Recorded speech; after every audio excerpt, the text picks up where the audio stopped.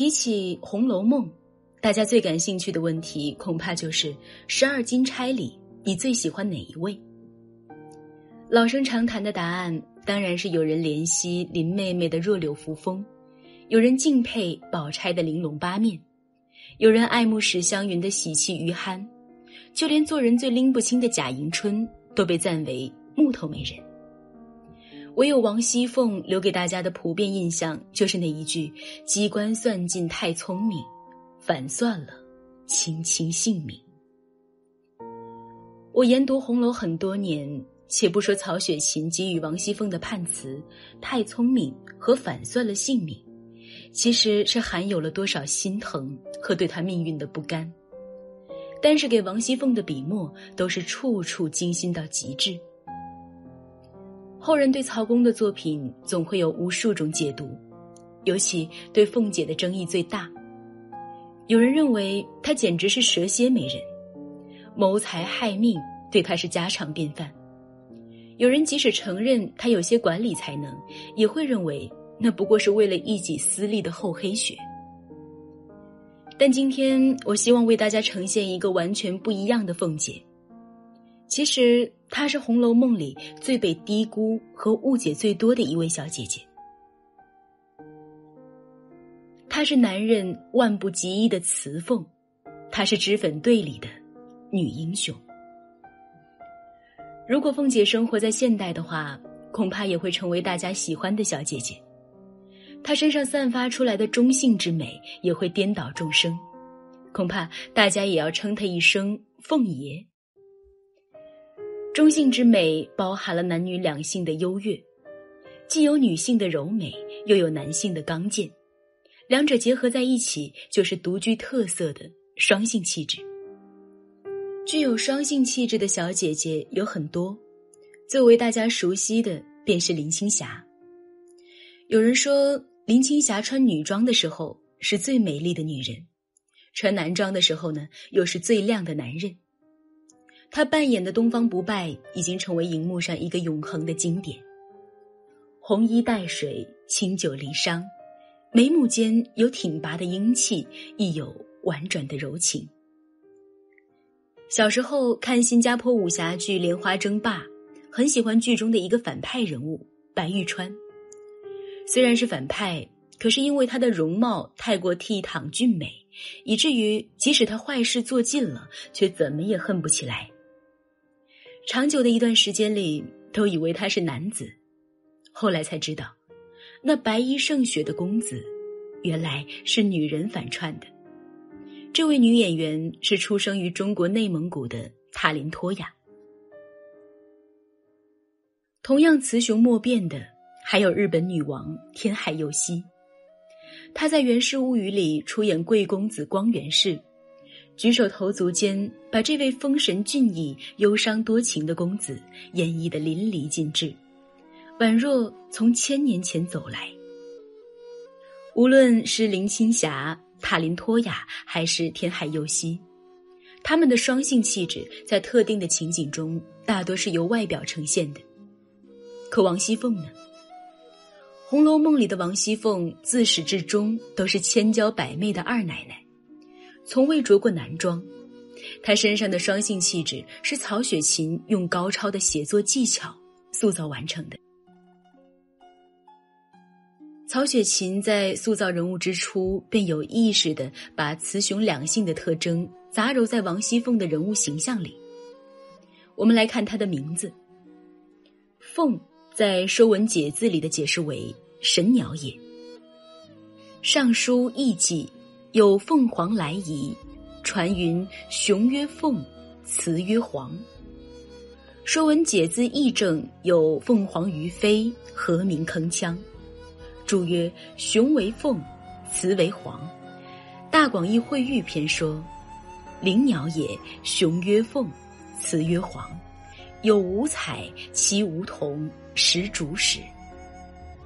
凤本是雄性的鸟类。但在判词里却说一只雌凤，它的名字里已然蕴含了男性的特质。又说金子万千谁治国，群钗一二可齐家。修身齐家治国平天下，这些都是儒家对于士的要求。儒家所讲之士，通常为男子。小说的叙述者把对儒士的要求加在一个女子的身上，更从侧面反映出了叙述者对王熙凤男性气质的认同。书里称他为脂粉英雄，冷子兴评价为是个男人万不及一的。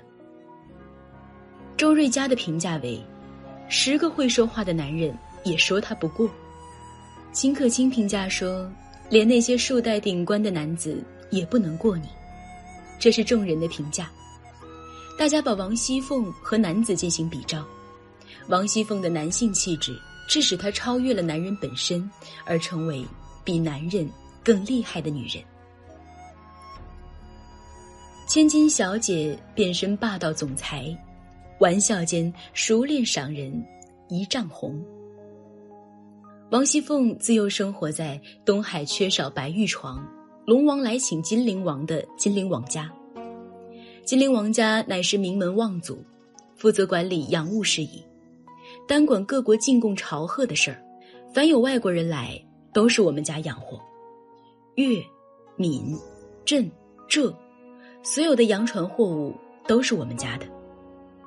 这些外来使者来到中国，从某种意义上来说，也把西方男女平等的观念带了过来。或许王熙凤从小耳濡目染，便在无形里从心底摒弃了男尊女卑的观念，而认为男人女人应该是相同的。黛玉初见王熙凤的时候，也曾想起母亲经常说的“自幼假充男儿教养”的话。王熙凤也自言。外头的只有一位甄大爷，我们还是论哥哥妹妹，从小一处淘气了这么大。贾珍也说，从小大妹妹玩笑着就有杀伐决断，杀伐决断，通常是世俗对男子的评价，这说明王熙凤从小就表露出她女性体内的男性化能力。由此可见，王熙凤被假充男孩教养。是人所皆知的事儿，而且家里也允许她和男孩子一起厮混。这段被教养的幼年时间也不短，应该是伴随了王熙凤的整个童年，甚至是少年时期。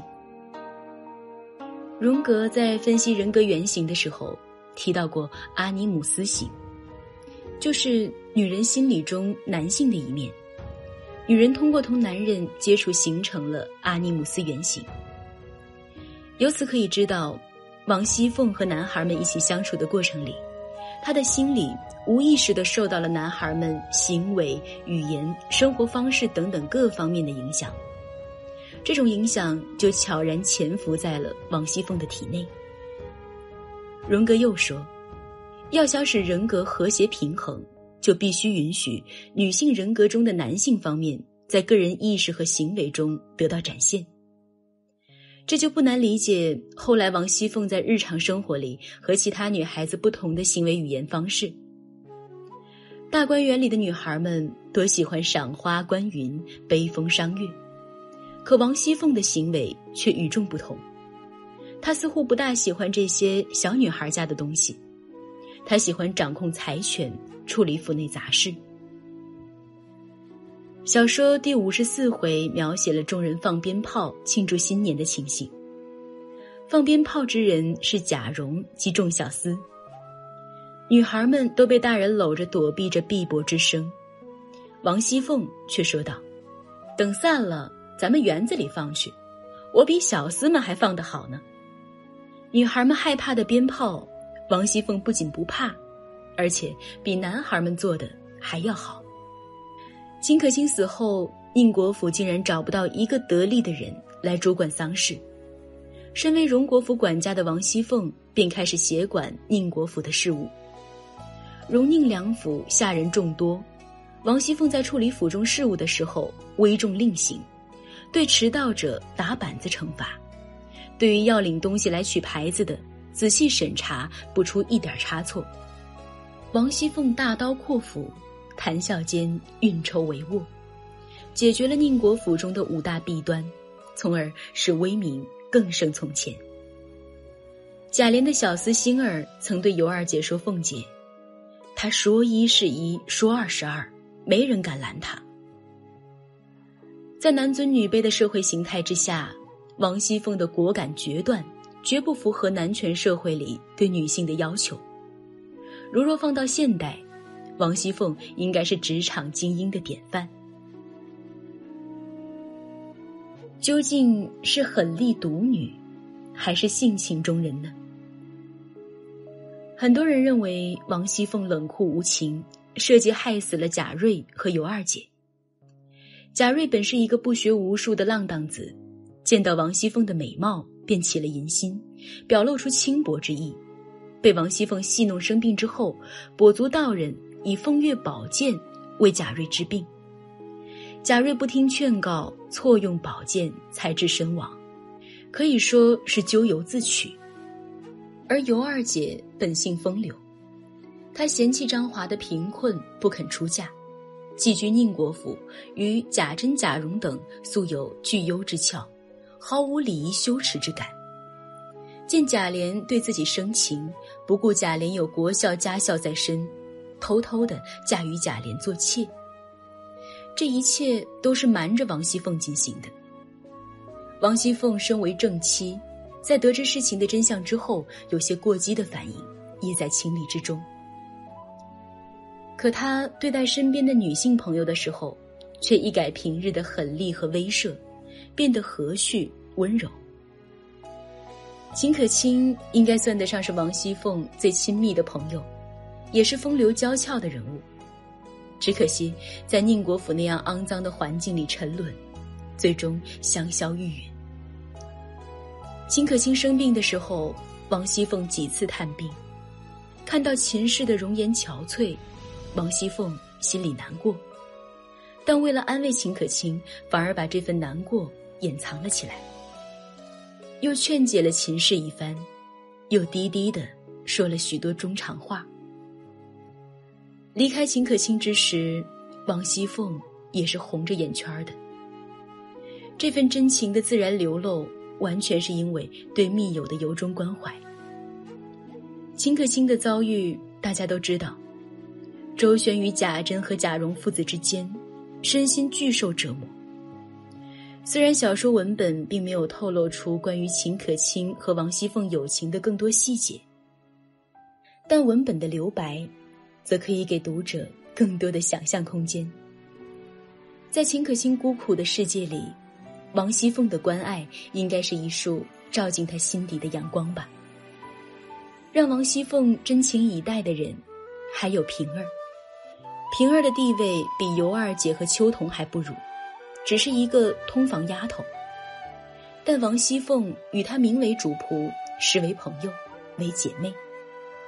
只有在平儿的面前，王熙凤才可以卸下面具，可以毫不保留的畅所欲言。王熙凤生日的时候，贾琏和鲍二家的偷情被发现，平儿受到牵连，王熙凤情急之下打了平儿。事后，王熙凤十分后悔。凤姐儿正自愧悔昨日酒吃多了，不念素日之情，浮躁起来，未听了旁人的话，无故的给平儿没脸。金凡见他如此，又是惭愧。又是心酸，忙一把拉起来，落下泪来。惭愧、心酸、落泪。王熙凤在这里的真情流露，与她和秦可卿相处的时候情感是相似的，说明王熙凤在心理上已经把平儿看作朋友。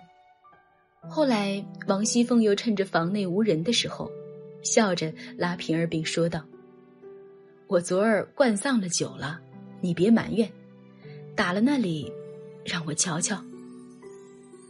这种略带玩笑性质的讨好口吻，完全是朋友间才会拥有的。在王熙凤生病，探春管理荣国府的时候，平儿向凤姐讲述了府内的情形。王熙凤料到探春会拿自己开端，便和平儿说：“倘或他要驳我的事儿，你可别分辨，你只越恭敬。”越说不得事才好，千万别想着怕我没脸，和他一犟，就不好了。又说：“我是恐怕你心里眼里只有了我，一概没有别人之故，不得不嘱咐。既行在先，更比我明白了。”你又急了，满口里你我起来。平儿道：“偏说你，你不依，这不是嘴巴子，再打一顿。”王熙凤担心平儿心里只有自己，而违逆了探春，便对平儿叮嘱，但平儿却在凤姐叮嘱之前就做好了。这样的默契，必是两人多年相知才会形成的。两人私下的谈话不再是上尊下卑，而是用平等的称谓，你，我。他们之间的对话更像是亲昵的闺阁密语。丝毫没有主仆的阶层感，反而更像是密友间的交嗔之谈。鲁迅曾说，《红楼梦》中的人物和从前的小说叙好人完全是好，坏人完全是坏的，大不相同。所以其中所叙的人物，都是真的人物。《红楼梦》里的王熙凤也是一个有着真性情的聪慧女子。人物性格极具立体感。她虽然有些狡黠，却不是天真可爱。能够在贾府里协调上下、左右逢源，更说明她有着极高的处世智慧。虽然王熙凤从未以男装示人，但倘若她穿上男装，也定是位精明干练的王家贵公子。她的双性气质不是由外貌，而是由骨子里散发出来的。通透而且自然。如果把《红楼梦》比作一间广厦的话，那么王熙凤就是这间广厦的支柱。没有了王熙凤的支撑，这间广厦就会坍塌。王昆仑曾说，在这高贵庞杂的门第结构里，凤姐儿是一根从地基直灌到屋顶的支柱。如果把这一女性抽了出去，《红楼梦》的全部故事结构。